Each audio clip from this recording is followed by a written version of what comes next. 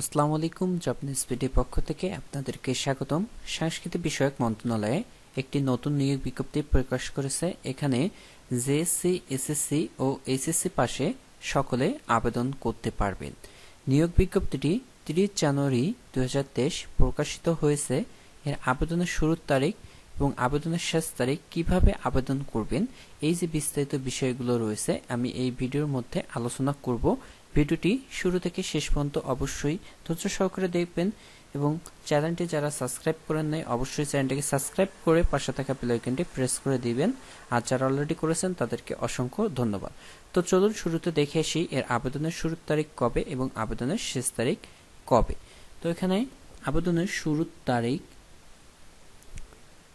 এক দুই দুই সকাল দশটা। অনলাইনে আবেদনের শুরুর তারিখ এবং অনলাইনে আবেদনের শেষ তারিখ আঠাশ দুই দুই হাজার তেইশ বিকাল পাঁচটা এবং BCO dot Teletalk dot com BD এই ওয়েবসাইটের মাধ্যমে আপনারা আবেদন করতে পারবেন।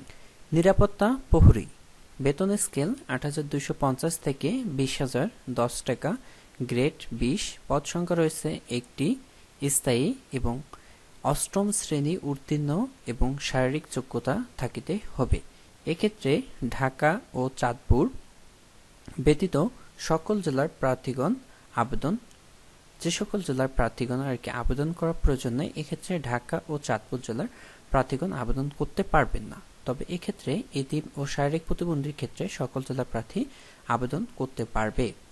গাড়ি চালক নয় হাজার তিনশো থেকে বাইশ হাজার চারশো নব্বই পদ সংখ্যা রয়েছে একটি, স্থায়ী, স্বীকৃত বোর্ড হতে মাধ্যমিক স্কুল সার্টিফিকেট বা সমমান পরীক্ষায় উত্তীর্ণ হতে হবে। এবং বৈধ লাইসেন্স ও হালকা ভারী বাহন চালানোর অভিজ্ঞতা থাকতে হবে। তৃতীয় যে পদটি রয়েছে, কম্পিউটার অপারেটর, এগারো হাজার থেকে ছাব্বিশ হাজার পাঁচশো নব্বই পদ সংখ্যা রয়েছে দুইটি এবং স্বীকৃত বিশ্ববিদ্যালয় হতে বিজ্ঞান বিভাগে স্নাতক বা সমান ডিগ্রি থাকতে হবে এবং কম্পিউটারে মুদ্রাক্ষরে প্রতি মিনিটে অবশ্যই বাংলায় পঁচিশ শব্দ এবং ইংরেজিতে তিরিশ শব্দ গতি সহ স্ট্যান্ডার্ড এপিসোড টেস্টে উত্তীর্ণ হতে হবে। দ্বিতীয় যে পদটি রয়েছে, ইন্ডিক্সার এগারো হাজার তিনশো থেকে সাতাশ হাজার তিনশো পদ সংখ্যা রয়েছে একটি এবং কোনো বিশ্ববিদ্যালয় হতে স্নাতক ডিগ্রি এবং সংশ্লিষ্ট কাজে দুই বছরের বাস্তব অভিজ্ঞতা সহ লাইব্রেরি এবং তথ্য বিজ্ঞানের ডিপ্লোমা থাকতে হবে। এবং সর্বশেষ যে পদটি রয়েছে, কপিরাইট সহকারী পরীক্ষক, এখানে বেতনের স্কেল বারো হাজার পাঁচশো থেকে বত্রিশ হাজার দুইশো চল্লিশ টাকা পদ সংখ্যা রয়েছে একটি, এবং স্বীকৃত বিশ্ববিদ্যালয় হতে স্নাতক ডিগ্রি থাকতে হবে।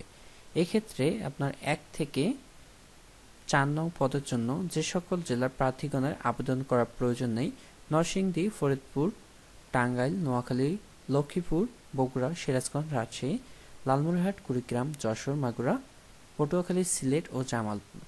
তবে এক্ষেত্রেও ইতিম ও শারীরিক প্রতিবন্ধী যারা রয়েছে, সকল জেলা প্রার্থীগণ আবেদন করতে পারবেন।